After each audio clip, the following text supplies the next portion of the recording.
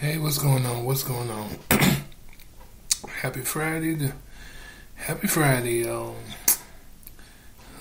shout, out, shout out to um, want to start off. This is another episode of the Reporter. Want to start off with a shout out to the uh, organization Paco and uh, with their fish fry tonight. Uh, good food, good fish.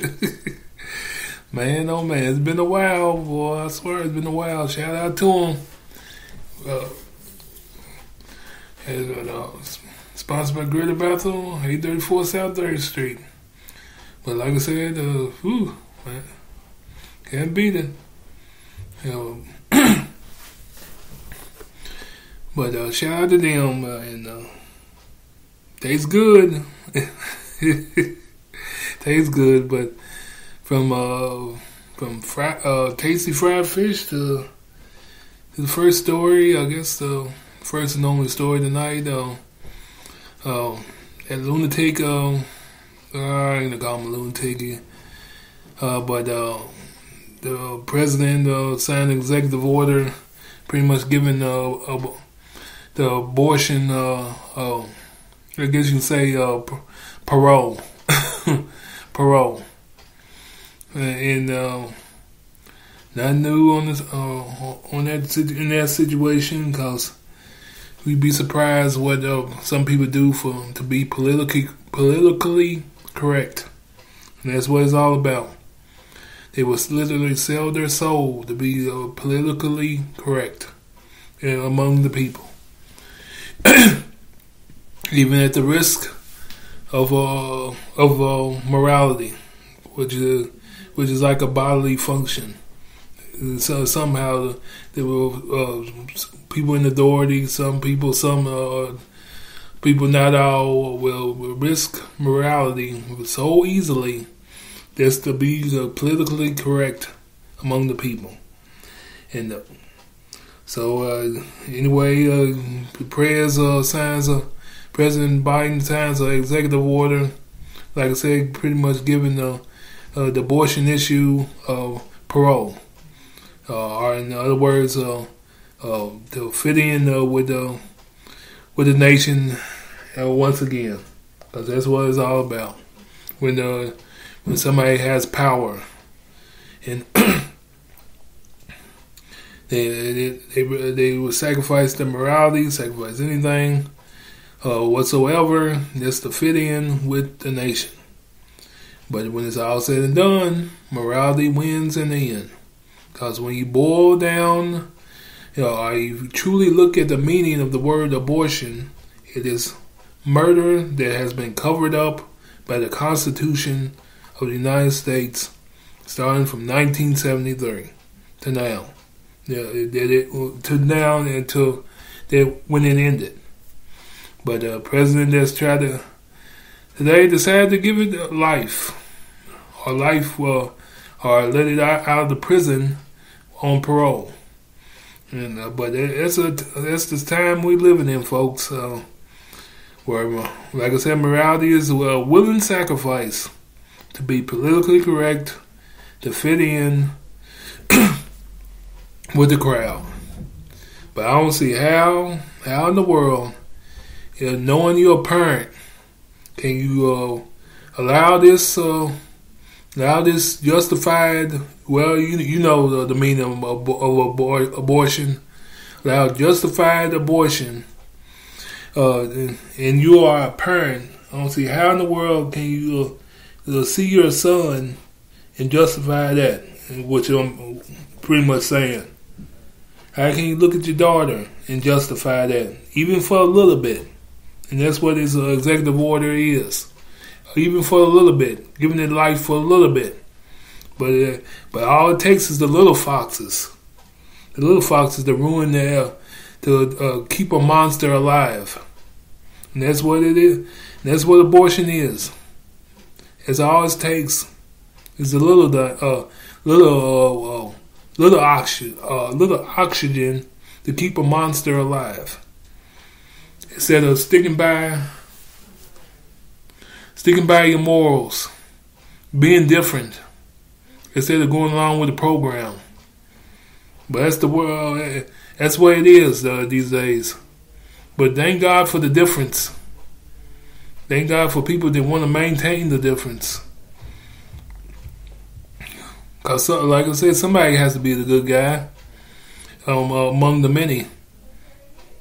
You know, yeah, somebody has to be the good guy among the many. Uh, like I said, uh, the, uh, the to uh, do my imitation of a parrot, but uh, but uh, seriously, uh, it's a sign of the times we're living in, and uh, and it's and it's somehow people will, will justify this and sit in a in, in a blue haze, not knowing what they're really talking about, or not caring about the moral uh, aspect of what they are talking about, and that's and that's what wins in the end. And that's what wins in the end. Morality. Morality wins in the end. I don't care if you're the president, Archbishop of Canterbury, or whoever you may be. Morality wins in the end. Because it, it's, oh, when it's all said and done, we all gonna be standing in front of a, a big almighty God that's seen all when we think we uh was, when he think he, he wasn't seeing all and from the president on down. But it's it's something else. How how he, he, people in power can stand in front of the nation. They stand there in a in a blue haze of of self righteousness and pretend that they're doing the right thing by being politically correct. By being politically correct. But sooner or later, the politically correct nonsense is going to get old. Because something's going to speak louder than, uh, than the decision to follow after uh, follow after the crowd, than the decision of just being politically correct. The results are sooner or later going to speak louder and louder. But that's the risk uh, people are willing to take. You know, they think the results are not going to show up. They think the results are gonna be soft like like uh, kittens. But uh, I don't think so. Every decision has a result. Every every decision has a consequence, whether you're a leader or not. And it, it doesn't matter if you're a leader or not. But uh, this is all I got. Oh. This is another episode on a Friday.